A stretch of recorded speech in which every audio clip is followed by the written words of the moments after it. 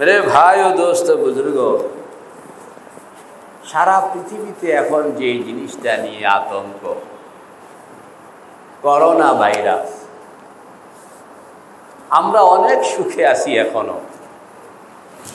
চায়নায় ইটালিতে ভুতুড়ে নগরী হয়ে গেছে এতদিনের আবাদ এই শহরগুলো। ঘর থেকে কেউ বের হয় না। ভয়ে, কিসের ভয়? একটা জীবাণুর ভয়। জীবাণুটা কতটুকু? এটা দেখতে হইল অনুবীক্ষণ যন্ত্র লাগবে, ঠিক না ব্যাঠি আল্লাহ আমাদেরকে অনেক হেফাজত করছেন। আলহামদুলিল্লাহ বলেন না। আমরা আরও দোয়া করি, আল্লাহ তুমি আমাদের সকলকে হেফাজত ফরমাও। মেরে ভাই ও দোস্ত, বুজুর্গ, এই করোনা ভাইরাস থেকে বাঁচার জন্য। আল্লাহর হাবিবের চিকিৎসাটা কি ছিল? মুসলমানদের চিকিৎসাটা কি ছিল? একই রোগ মুসলমান বাঁচে এক পদ্ধতিতে, অমুসলিম বাঁচে আরেক পদ্ধতি আল্লাহ পাকের নিজাম। মুসলমানদের জন্য ভিন্ন পদ্ধতি আল্লাহ পাক বানাইছেন, যেটা সহজ, যেটা কনফার্ম আর যারা ইসলামকে মান্য করে না, এদের জন্য একটু জটিল হয় ওই বেচারারা নানান দুয়ারে যাইতে হয়, নানান ঘাটের পানি পান করতে হয়। এরপরে যদি মুক্তি পাইলো তো পাইলো, না পাইলো না পাইলো। মুসলমানদের জন্য আল্লাহ পাকের হিসাব ভিন্ন। কত সহজ। মুসলমানদের এই শক্তিটা একজন আলেন কত সহজে একটা মূর্খ মানুষও দাঁড়াইয়া কয়ে লিখতে আছে কিছু থেকে কিছু হয় না, যা কিছু হয়। কথা কয় না কা, কিছু থেকে কিছু হয় না, যা কিছু হয়। হায়াতের মালিক, মৌতের মালিক, রোগের মালিক, চিকিৎসার মালিক, বিপদ কে পাঠাইলেন, আবার কে উঠাইয়া নিবেন, সকল কাহিনী কার হাতে? ওনাকে যদি মোটামুটি রাজি করে ফেলন যায়, তাহলে আর কোনো সমস্যা আছে? সাহাবায় কেরামকে আল্লাহর হাবিব এই একইনের উপরে আছে যে তুমি একদিন বানাও চিজ ও আসবাবের ক্ষমতা আছে, কিন্তু কার্যকর ততক্ষণ পর্যন্ত করতে পারে না। যতক্ষণ পর্যন্ত হুকুম না মিলবে থেকে পুলিশকে জিজ্ঞেস করলাম যে, এই রাইফেল এটা যে বহন করতে করতে পিঠে দাগ পড়ে গেল, গুল্লি মারছেন নি কোনোদিন রাস্তায়? না। কেন? না মারতে হইলে উপরের অর্ডার লাগবে। দেখছেন? জীবন পর এটা খালি হাঁটলো, কিন্তু গুল্লি কোনোদিন মারতে পারে না। বলে, এটা লইয়া হাঁটেন কেন? এটা দেখানোর জন্য, যাতে করে লোকেরা ভয় পায়। গুলি করতে হইলে কিন্তু উপরের অর্ডার লাগবে। উপরের অর্ডার ছাড়া আমি সাধারণ সিপাই গুলি করে দিলাম। আমার মহামাত করি নো করোনা ভাইরাসের কোনো ক্ষমতা নাই যতক্ষণ পর্যন্ত অনুমতি না মিলবে থেকে এখন দুই দল। এক দল এরা করোনার বিরুদ্ধে লড়াই করতে আছে করোনা থামো, করোনা কয়ে থামবো না। পাবলিক কইতে আছে থামো, করোনা কয়ে থামবো না। সে সারা আপনার চায়না দখল করে ফেলতে আছে চায়না সরকার কত রকমের চেষ্টা করতেছে রে ভাই, দাদা, কাকু জেডা কইয়া থামানোর জন্য করোনা থামে না। ইটালিওয়ালা পেরেশান করোনা থামে না। মোহাম্মদুর রসুল্লাহ সাল্লাহ তালিম হইল যে করোনার পিছনে কেন দৌড়াইবা? করোনারে পাঠাইছে কে আগে এটা করোনারে কে পাঠাইছে? তুমি ওই করোনার, করোনাকে যে পাঠাইছে তার সঙ্গে যোগাযোগ করো, এটার লগে যোগাযোগ করো কেন? মেরে ভাই ও দোস্ত বুজুর্গ। সাহাবি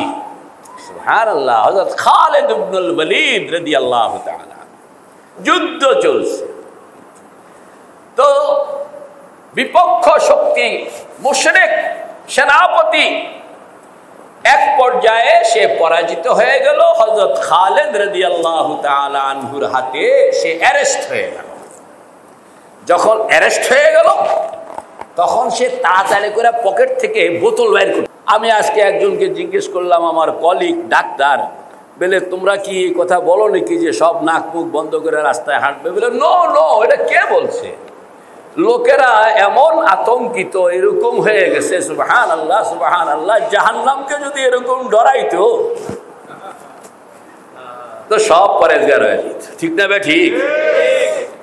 করোনাকে যত ডরায় রোড অ্যাক্সিডেন্টে আমাদের দেশে এর চেয়ে বেশি মানুষ মারা যায়। আর আরও অনেক রোগ আছে। মেরে ভাই দোস্ত, বুজুর্গ, করোনা এখনও বাংলাদেশে হয়তো ঢুকে নাই, ঢুকলেও এখনও ধরা পড়ে নাই।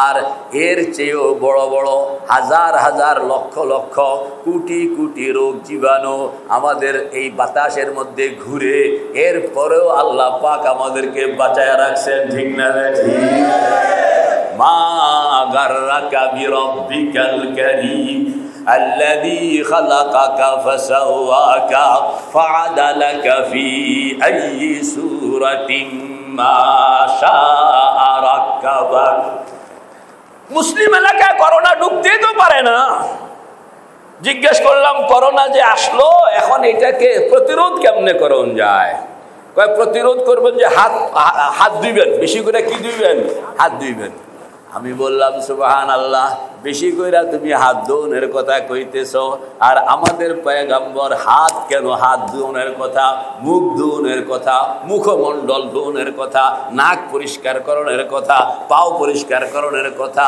দৈনিক অন্তত পাঁচবার ঠিক না ঠিক? কোন মুসলমান যদি শরীয়তের উপরে সহিমতন চলে, তাইলে করোনা তো আমাদের এলাকায় ঢুকনের তো নো চান্স ঠিক না বে ঠিক? আমরা নিজেদের আল্লাহ একবার, আল্লাহর হাবিব আমাদেরকে এমন একটা জামা বানায়া দিয়া গেছেন তোমরা আমার বানায়া দেওয়া এই জামাটা গায়ে রাখবা। তাইলে কেয়ামত পর্যন্ত যত রকমের রোগ, ব্যাধি, বালা, মুসিবত, ইবলিস, দুষ্ট, শয়তান নাস্তিক খবিস যত কাহিনী আছে, কেউ তোমার কিছু করতে পারবে না। যদি মোহাম্মদুর রসুল্লাহর সুন্নতি জিন্দগির পোশাক তোমার গায়ে থাকে, কে কে তৈয়ার, ইনশাআল্লাহ? পোশাক মানে লম্বা কুর্তার কথা কইছি না। পোশাকের মতলব হইল আল্লাহর হাবিবের সুন্নতি জীবন। বলেন, আল্লাহর হাবিবের সুন্নতি। ঘুমের থেকে উঠবো, উঠোনের পরে আপনি, উঠোনের পরে আজ উঠতে হবে কখন? বলে, ফজরের আগে উঠতে হবে, আজানের আগে। তুমি উঠো না আজানের আগে। মতন তুমি উঠো উঠটা বালা মতন উজু করো। যত রকমের ঝামেলা আছে, সব শেষ। আল্লাহর হাবিব আগের থেকে কত সাবধান। তুমি এই যে ঘুমের থেকে উঠলা উচ্চাই তুমি এই তোমার এই হাতটা পানির ভিতরে ঢুকাইয়া দিবে না। ফালা এটা বর্তনের ভিতরে হাত ঢুকাইবা না। কারণ রাত্রটা তুমি তো ঘুমাই আসিলা, তোমার হাত কোন কোন কোন জায়গায় ঘুরাঘুরি করছে শরীরের, এটা তো তুমি জানো না। এজন্য হাতটা আলোক থাকবে আর বদলা দিয়া পানি লইয়া আগে তুমি কবজি পর্যন্ত ভালো করে ধুয়া লইবে। দেখছেন কেমনে করোনা বিদায় করে দিতে আল্লাহর হাবিব আগের থেকে তো জীবাণু তুমি হাতটা কবজি পর্যন্ত ধোয়া হয়ে গেছে, এবার তুমি অজু শুরু করে দাও। তুমি মুখ দো কুলি করো নাকে পানি দাও। তাইলে শরীরের অঙ্গ প্রত্যঙ্গ থেকে আল্লাহ একবার শুধু এইটাই না যদি আপনি সুন্নত মতন যদি আপনি অজু করলেন আল্লাহর হাবিব বলেন যে তোমার এই অজুর দ্বারা যত রকমের সগিরা গুণা কবিরা গুণা যত রকমের গুণায় তোমার সঙ্গে আছে আল্লাহ সব গুণায় অজুর দ্বারা আল্লাহ পাক মাফ করে দেন। আমরা যদি সুন্নতের উপরে চলে আসি, তাইলে কোন রোগ ব্যাধি আমাদেরকে আর পাকড়াও করতে পারবে না। কে কে ইনশাআল্লাহ সুন্নতি জিন্দগির জন্য?